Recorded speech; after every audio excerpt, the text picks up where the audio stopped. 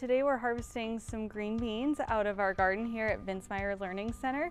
Um, this is one of five school gardens that we have in our district. It's exciting to see the families all coming during the summer to harvest and to water and to weed. It's just, it's great to see everybody be a part of it. We need to get all these ones down here. We bring um, all of our school garden produce to our picnic and play program.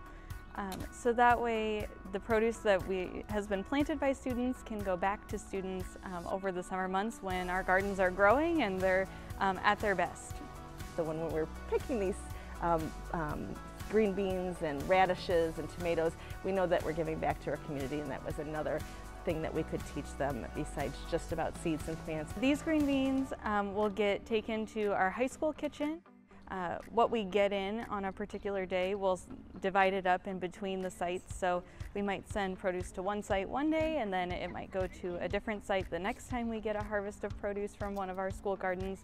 Um, but we try to distribute to all of our sites over the course of the summer so that way everybody can have a chance at trying some of our school garden produce.